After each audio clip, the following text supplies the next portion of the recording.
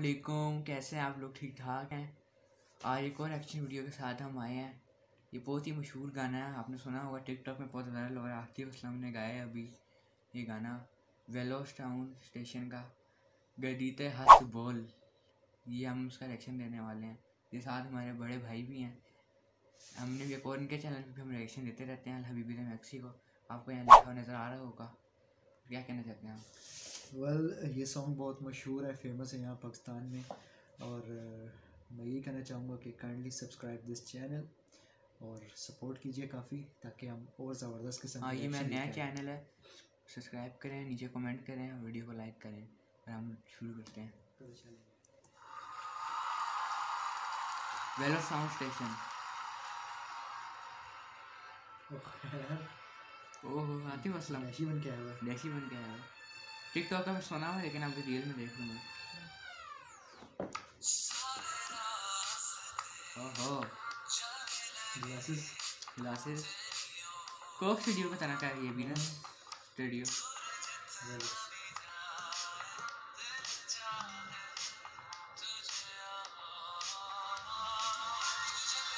हाँ ये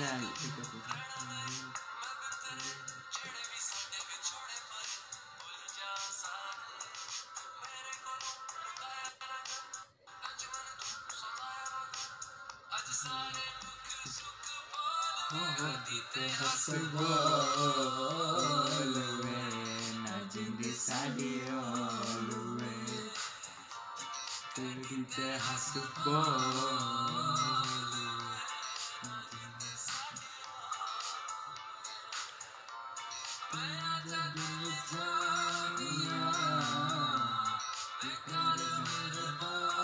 पुराना गाना भी है ना ये पुराना गाना रिमिक्स किया हुआ है ये बात सुना हुआ था। पाकिस्तानी सॉन्ग हाँ, ये थोड़े वर्ड आते हैं उसमें अपने भी डाले हुए लाइन मेरे ख्याल से दो हज़ार बीस सबसे बेस्ट गाना है या ओह, ओह। अच्छा हुआ है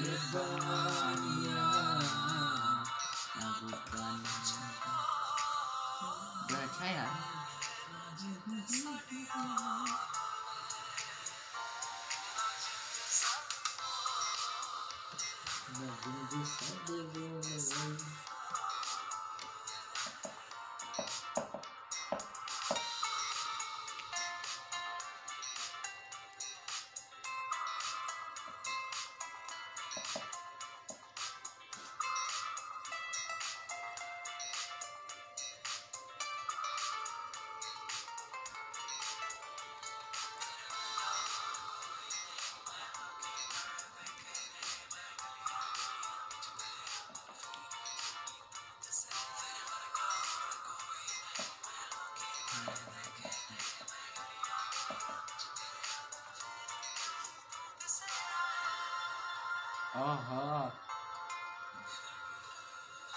Aha.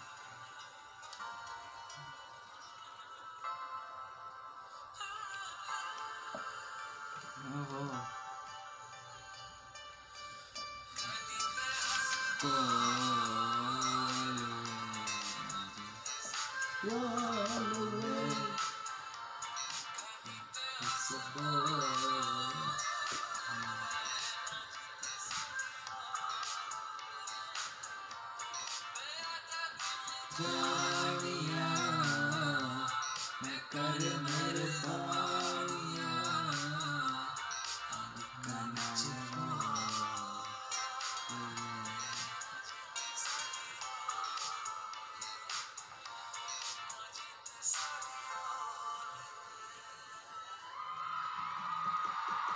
बहुत ही अच्छा लगा यार मुझे बैंगो मैंगो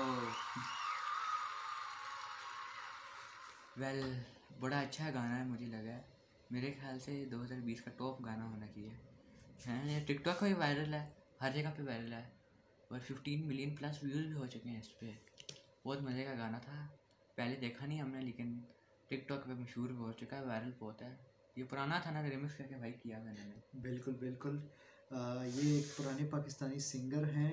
मेरे नाम नहीं याद आ रहा, मानत अली आई थिंक बहुत पुराने पाकिस्तानी सिंगर है लेजेंड सिंगर उनका गाना था और रियल जो वर्जन था, वो स्लो था। गद्दी तेज़ वो- इस तरह उसमें वो वो स्टाइल नहीं था उसमें थोड़ा क्वालिटी टाइप का था वो थोड़ा स्लो टाइप था। फिर वो हुआ हमारी सिंगर्स ने गाया वुमेंस ने भी पाकिस्तान में गाया उसके बाद फिर मशहूर हुआ फिर इंडिया ने कॉपी भी किया उस गाने को। इंडिया ने? हाँ एक मूवी आई थी 2010 में लव आजकल उसमें कॉपी हुआ था। आहू आहू आहू उसमें बोल हुए अच्छा। लेकिन उसके बाद ये कि आतिफ असलम ने गाया ना उसको एंड कर दिया। लिटरली उसको एंड कर दिया गाने को कि अब हाँ, उससे बेहतर नहीं हो सकता। नहीं हो सकता। और इसकी एक और बात जो मैंने देखी है कि वो ये है कि जो वेलोड साउंड स्टेशन है हम्म, ये है तो कोक स्टूडियो स्टाइल थिंग है लेकिन कोक स्टूडियो थोड़ा डिफरेंट है। कोक स्टूडियो थोड़ा सीरियस है। ये थोड़ा ज़्यादा फंकी है थोड़ा ज़्यादा स्टाइलिश है। करें इसमें हैं हाँ। बिल्कुल इसमें ज़्यादा स्टाइल मार रहे हैं। इसमें हाँ। ज़्यादा मतलब ये कि डिफरेंट माहौल लग रहा है। हम्म, और आतिफ असलम की एंट्री तो एज ऑलवेज यानी कि वो तो इंडस्ट्री के हमारे लेजेंड है अबू जान है। और वैसे भी उनके क्या कहते हैं उनका स्टाइल बड़ा फिट लगा फंकी स्टाइल गॉगल्स रखी हुई थी उन्होंने रे बैन और जो जो ग्लिटरी उनका जो जैकेट थी और उसके साथ उन्होंने एंट्री कोट था। कोट था बिल्कुल। उसके बाद जो उन्होंने एंट्री ली है और डिफरेंट जो उन्होंने लुक स्टाइल किए हैं हैं। वो जिसे कहते हैं कि उन्होंने उसने उस चीज़ ने इस गाने को चार चाँद लगाए हैं कि ये गाना और ज़्यादा फ़ेमस लगे। और उनकी वॉइस तो मतलब एज ऑलवेज यार पूरी दुनिया में मानी जानी जाती है। हमारे पाकिस्तान के लेजेंड है हाँ। फ़ख्र है। इंडिया में लोग पसंद करते हैं ना काफ़ी आते हैं वो जो बात है। खैर अगर आप चाहते हैं कि हम और भी रिएक्शंस दें आपको पता है कि इस चैनल के reactions hundred percent sincere authentic होते हैं। और रियल होते हैं। रियल होते हैं बिल्कुल एग्जैक्ट हंड्रेड परसेंट ओरिजिनल होते हैं। तो आप kindly drop drop down in the description sorry drop down in the comment box और thank you so much keep supporting और आखिर में हम यही कहना चाहेंगे कि खुश रहें आबाद रहें। मैक्सिको में रहें या इस्लामाबाद रहें। अल्लाह हाफिज़